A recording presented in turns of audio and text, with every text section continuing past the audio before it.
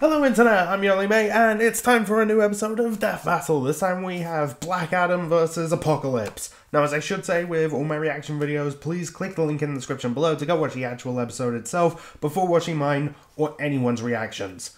Don't be a dick, support the official release. Okay, so you might notice things are different. Well, it's because stuff is going on at my house, stuff is getting moved around. I'm still kind of in the process of uh, moving rooms. It's it's just taking a while because stuff needs to be done, like here and there.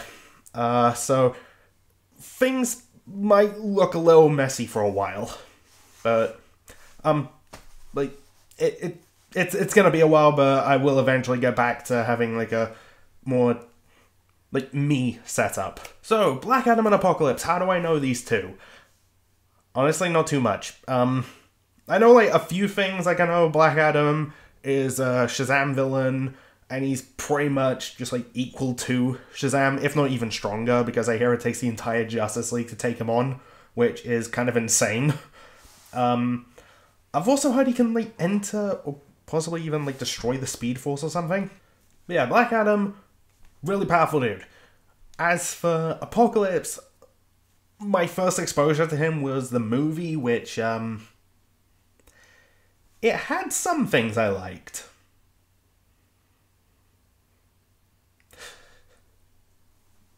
Yeah, and honestly, just like the stuff I hear about him and like how like powerful he is, that movie did not do him justice, honestly. And this is kind of unrelated, but now that like Marvel Studios and Disney have the movie rights, like I kind of hope Apocalypse is like a next Thanos, because from what I hear, his abilities could make him that, including uh, molecular manipulation, where he can just like shape his body into anything he wants, or even make up powers on the fly, apparently, which is nuts. And he can take on like four, so Apocalypse, not to be messed with. As for who I think is going to win, just from the little that I know of the two, and just I, I want to say Black Adam, at least at the moment. If anything, because traditionally, like the more powerful Marvel characters tend to be like, not as powerful as like the more powerful DC characters. Uh, there are like a few exceptions, obviously, and they've had fights like Strange versus Fate and Scarlet Witch and Zatanna, which are ungodly close. This could be one of them. I don't know. But anyway, I'll find out once I put these on, shut up, and hit play. Wow, wow, wow, wow, wow, wow, wow, wow. Black Adam, DC's ferocious champion of Shazam. Apocalypse, Marvel's baleful mutant conqueror. Anubis, Toth, Ra, for over 30 centuries, Egyptian mythology spawned countless legends. And we've got comics' biggest baddies this side of the Nile. He's Wiz and I'm Boomstick. And it's our job to analyze their weapons, armor, and I skills keep doing that. who would win a death battle. Oh, and I have seen the animation preview on Death Battlecast. It looks good so far. Gotham, Themyscira, Metropolis, just a few of DC's unique Yep. tourist spots. All But classics. there's another. South of the Mediterranean Sea and north of the Sinai Peninsula rests the sovereign nation of Kahndaq. While those spots have Superman and Batman solving crimes like it's magic, Kahndaq's got an actual magic man saving them. Black Adam. Long ago, Hmm. Teth Adam and his people were enslaved by the conqueror Ebok and his army of barbarians. All he had left was his nephew, Amon. Upon fleeing certain death, the two stumbled onto the Rock of Eternity, a mystic lair that has defended Yeah, magic no, since the the, dawn of Rock of. Eternity, I remember. The two earned an audience with the lair's masters, the excellent named Played by Council Dwayne of The Rock Johnson. Seeing the purity in Little Amon's heart, this wannabe Gandalf decked him out with super magic. And being the nice guy he is, Amon shared some magic power with his uncle. Spoiler alert, uh, not his best idea. They returned to Kahndaq to free their people, but their methods reached an impasse. Amon wanted to use his powers to resolve matters in a peaceful fashion. However, Teth Adam desired vengeance, emancipation through slaughter. So Uncle Teth sat his nephew down, man to man. looked him straight in the eyes, and then frickin' killed him. Then used Oh. his borrowed power to steal the rest of the super magic. You know what they say? uh, No nephew, no problem. With the full might of the wizards at his fingertips, I don't know if anyone actually says annihilated that. The barbarians and freed his city. Suffice to say, he's not exactly your typical hero. Even the superhero A-listers don't try him, and for good reason. Kmart Merlin here didn't give Adam some nerdy. Oh, I do know he has, like, dope shit. The living His. Shazam is different just like to Billy's. Like, he has. Living lightning is powers from different gods. comics history. It's magic lightning. You ever see normal lightning kickstart a giant's heart and juice up the Flash? Because Black Adam's lightning did, and activating it is as easy as saying the magic word, Shazam! Wait, wait, hold up. That's Billy's word. Shouldn't he shout like, Black Adam or Shazoo? Remember, uh, Kmart Merlin? This Wait, Yellow Lantern Ring? The mightiest of the wizards. Oh. To better protect the multiverse's magic, he promotes. Okay, well, I never heard about that before. mythic Champions. Black Adam is one of the first. So, kind of like Shazam with another name. I like my idea better. Shazoo! It really lets you know you gotta be quiet, like when you're in a zoo or, you know, the animals will f***ing kill you. Wait, is that not a real thing? Can I talk at the zoo? But when Teth Adam shouts his magic word, lightning pours from the clouds, transforming him from meager human to wizard Jesus, and vice versa. Simply put, Black Adam is imbued with the powers of God. Well, gods, plural, as his gifts come from multiple mythological legends. At first, he got juiced up from the Greek gods Zeus, Atlas, Herc, you know, all those buff guys and gals. But Yeah. It didn't really work out, though, because he kinda died. Yet Kahndaq Oof. craved for their hero's return. So Black Adam's most devoted followers collected all of his ashes and prayed their hearts out. This time to their own pantheon. Goodbye, muscles, and hello, bird people! Black Adam was reborn, now with the powers of the Egyptian pantheon. Gods like Shu, Amun, and Horus gave Adam the basics super strength, speed, flight, and. Okay, but what about Slifer? But the real magic. The executive the producer. three. The power of Aten channels the living lightning throughout his entire body for combative purposes, and the wisdom of Zehuti improves Black Adam's strategic thinking. It's a council of knowledge Okay. from the gods that clues Black Adam in on how to defeat his enemies. Like, for instance, Okay. when evil Joker Batman drove Billy mad, Billy went all King Shazam on Kahndaq. But guess what? Zehuti had Black Adam instinctively lead Billy into a trap to destroy his ass with the power of Sunday prayers. Jesus. Hallelujah! Holy shit! And finally, the courage of Mehen. Besides minor healing and resistance to mental attacks, Mehen's power grants. Yeah, no, I've heard about the mental resistance. It's got him through some really rough patches. His family, dead. His country, wasted. His Jesus. wife got revived. She turned to stone. You can Ooh. knock him down, sure, but he ain't staying there. Mehen helped make Black Adam a non wavering and decisive leader. The whole world can turn against him, but he would not care so long as Kahndaq is safe. To reach those ends, he's partnered with the Justice Society of America, the Society of Supervillains, and even the Justice League. Rubbed elbows with Superman one day and Lex the next. So, uh, is Black Adam a good guy or a bad guy? Uh, neither. Depends on how he feels that day, I guess. His people matters. He's not concerned with morality, and his brash nature is frequently misunderstood. It's what led to the entire JSA jumping him. Twice. And they still couldn't check him. Adam's just built that different. Black Adam caused sandstorms with a single clap, pushed the moon, and killed the four horsemen of the apocalypse. One time when Space Cultist Oh my God, knocking so on Earth, appropriate. He fought side by side with his best bro, Sinestro. Afterward, when the Yellow Lanterns dipped and took their rings with them, Sinestro let Black Adam keep the one he got.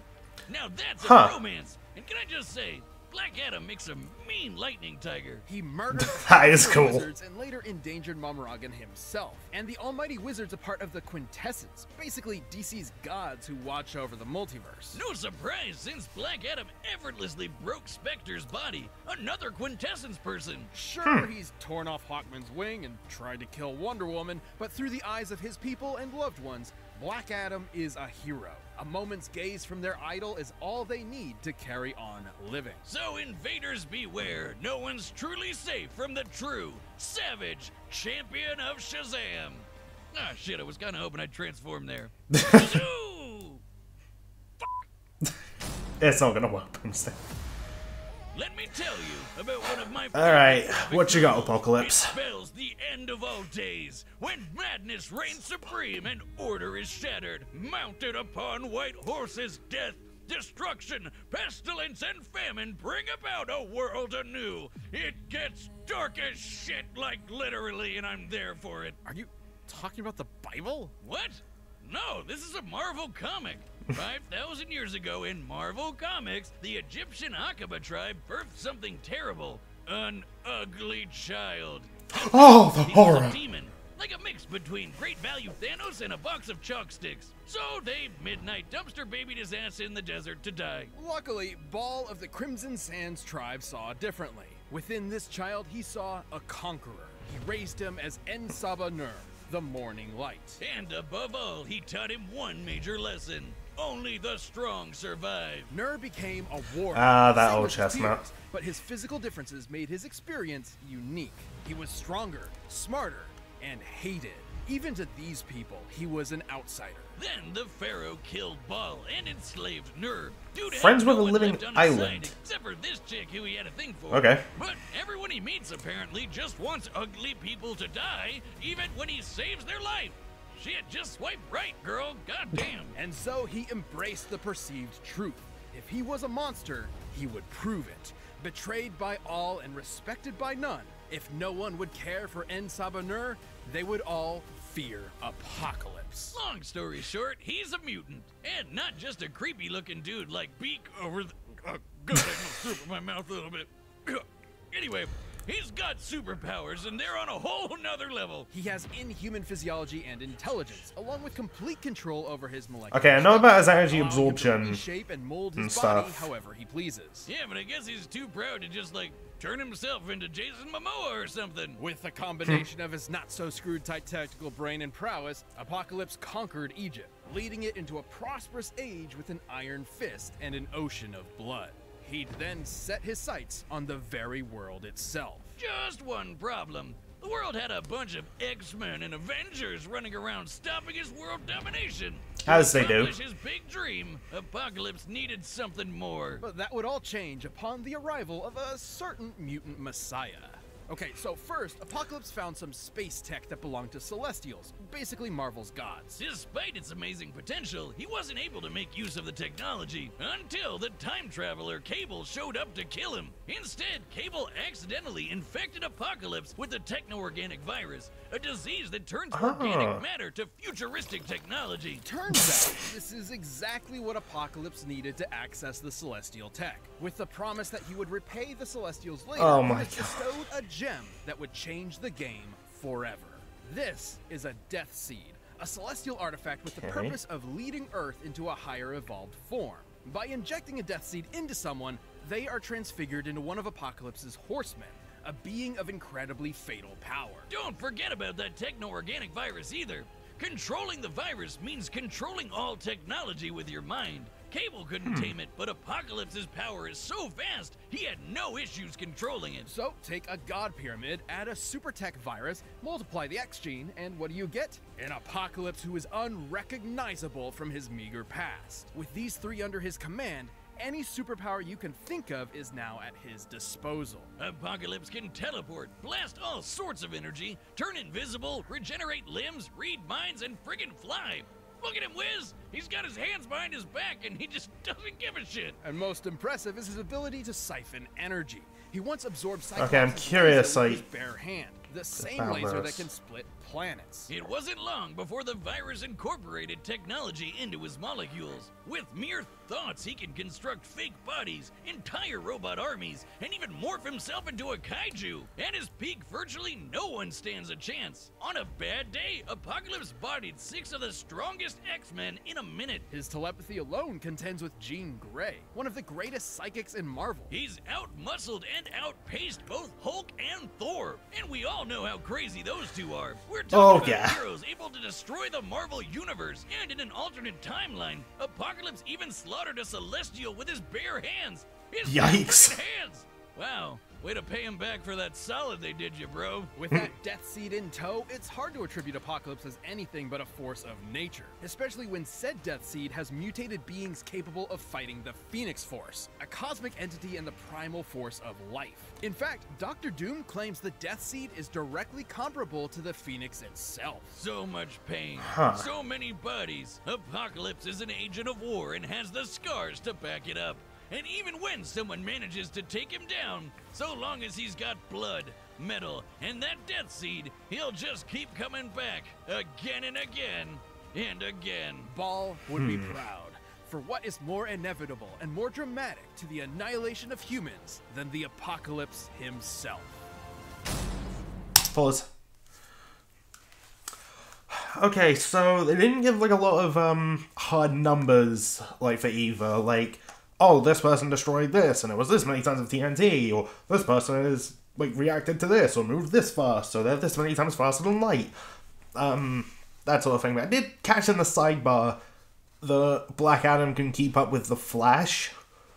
So that is uh, something I kept know of. So I'm gonna just assume he has the speed advantage from that alone. And it sounds like they can both like contend with gods who are capable of like threatening the multiverse. Um.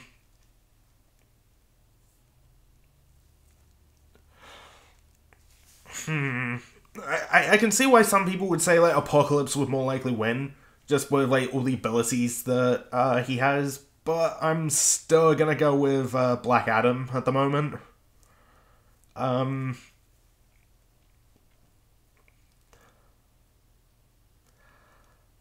Honestly, for no other reason than I think he might just be able to just overpower Apocalypse.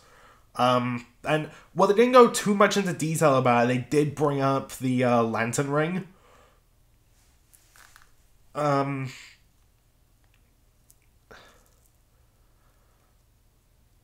although I don't know if the virus will affect that.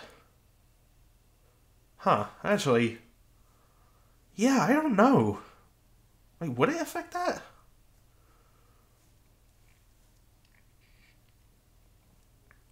I, I, I, don't know, but hey, um, I'm just gonna show up hit play. Black Adam is gonna win, but if Apocalypse uh, ends up winning, I'll be shocked. Shocked. Well, not that shocked. Um,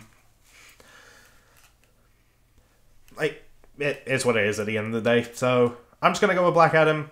See what see how what happens. Play.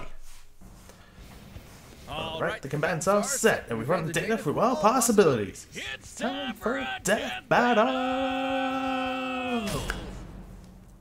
And then the doors open. I do like how this starts off like looking like a comic, and boy, this environment is beautiful.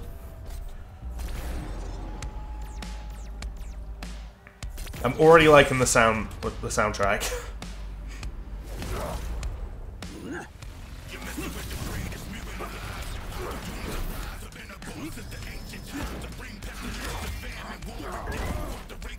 Where's your general, interloper?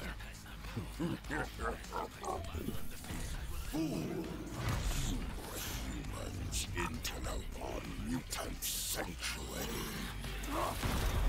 Alright, from this point, preview ends.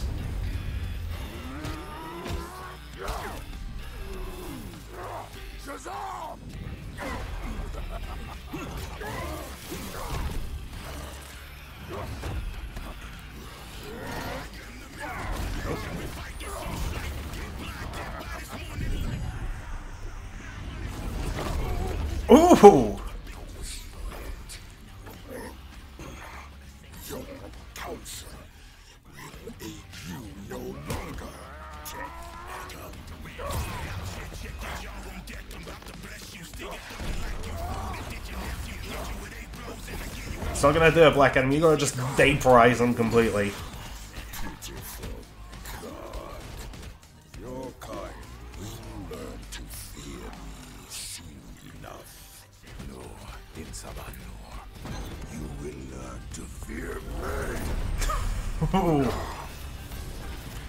Alright, so the lantern ring's on. Let's see uh, how that plays. And the moon got destroyed. the tiger. I'm glad that's in there.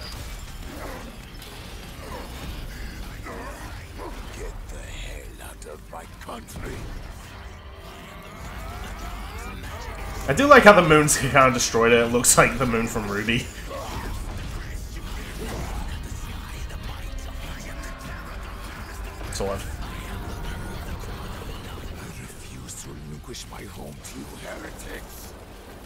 Shazam!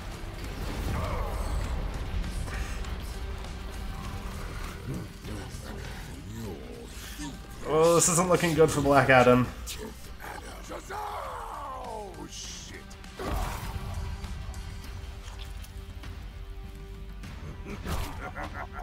Huh. I never offered you a choice. Jesus Christ. Everything you've built will fall. Well, that was brutal.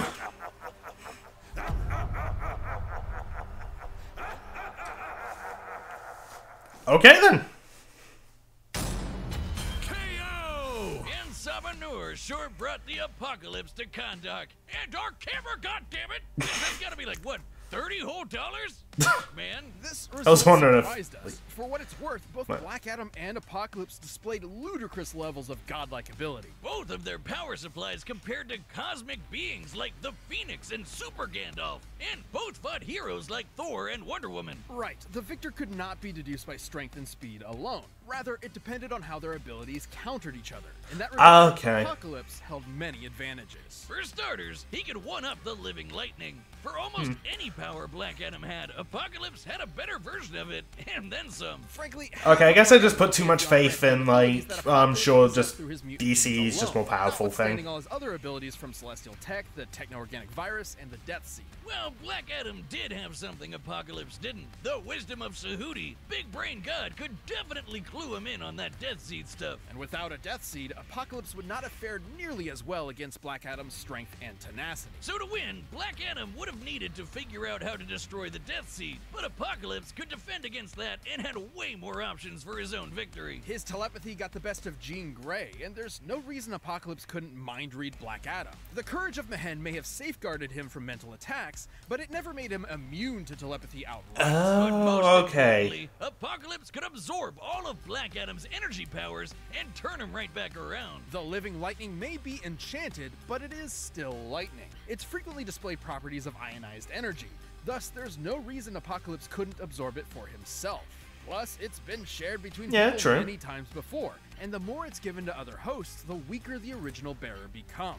Hell, Oh, I actually stealing didn't know about that part. Lightning is how Teth Adam became Black Adam in the first place, so Apocalypse could do the same. By You know what, true. up Black Adam's magic, Apocalypse grew in power while Black Adam got weaker. It was only a matter of time before Black Adam was literally helpless against the end of all things.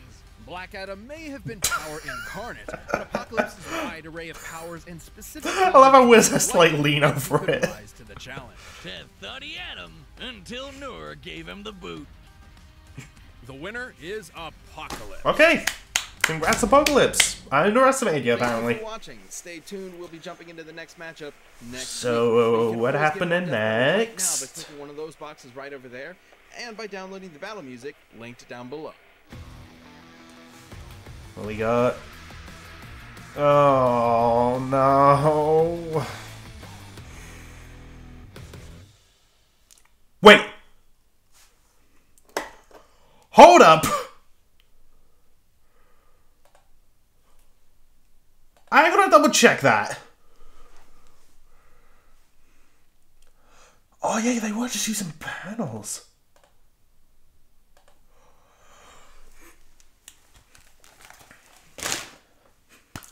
Okay. So first of all, I like this episode. Um, I, I might not have been like too into it just because I'm not really too into like the characters themselves. But hey, the fight was basically the episode was fun, and that's all that really matters to me. Um, I definitely put too much faith in the whole like, oh, DC is just in general more powerful, and I thought given like, oh, Shazam plus a lantern ring, I thought, oh, well, that's like GG, right? So yeah, definitely underestimated Apocalypse and just didn't take some kind of obvious things into account in hindsight.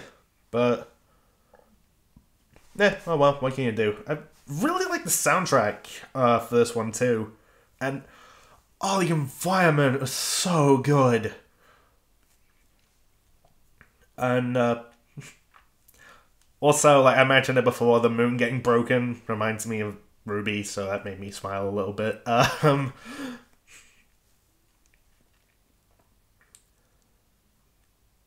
and there were some like really cool shots too, like that moment where you see like just the shadow of a giant apocalypse and the lightning like comes down, and uh, that moment when uh, Black Adam's just on the ground going, "Uh, Shazo, shit." like, okay, that was that was funny.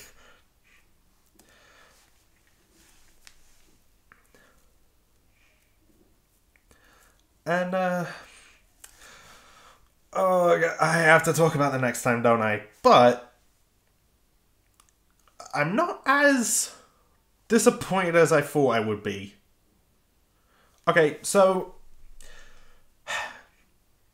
Trunks versus Silver.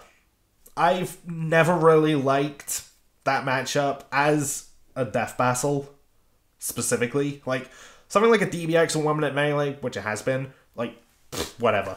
But as a death battle, I always thought, eh. Like, plus, like we already had Vegeta versus Shadow, so if anything, that shows like, oh yeah, Saiyan would beat the Hedgehogs. Like, so do we really need to see Trunks be Silver? Um. And admittedly, this matchup kind of got leaked uh, to me at least. Well, maybe not necessarily leaked, but it was in a way that I was just able to put two and two together, like earlier this year, and I was just like, oh well, now I'm disappointed, and I don't know how I feel about uh, Trunks even uh, being involved. Because when I saw him in the teaser, I was just like, oh no, it's that matchup, isn't it? And I was just disappointed. However, something has just saved this matchup for me.